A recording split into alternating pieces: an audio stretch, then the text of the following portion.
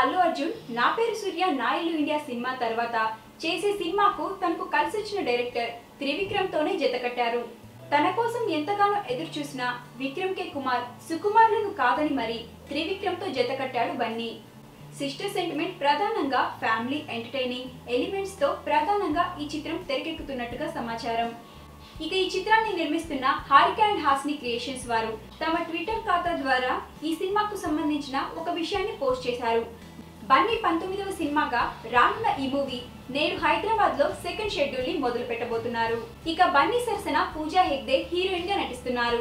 ఇక ఆమె కూడా సెకండ్ షెడ్యూల్లో పాల్గొనబోతున్నారు. గతంలో బన్నీ పూజా హెగ్దేలు హరీష్ శంకర్ డైరెక్షన్లో వచ్చిన దువ్వాడ జగన్నాథం సినిమాలో కలిసి నటించారు.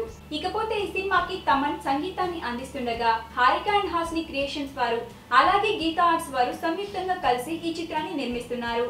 ఇక ఈ చిత్రానికి సంబంధించిన ఏ ఒక్క చిన్న అప్డేట్ అయినా సరే నిమిషాల్లో వైరల్గా మారుతోంది. ఇక బన్నీ త్రివిక్రమ్ కాంపోలో వస్తున్న ఈ సినిమా మరొక బ్లాక్ బస్టర్గా నిలుస్తుందని ఫ్యాన్స్ అభిప్రాయం. ఇక ఈ సినిమాను రెండు వేల ఇరవై సంక్రాంతికి రిలీజ్ చేయాలని ప్లాన్ చేస్తున్నారు.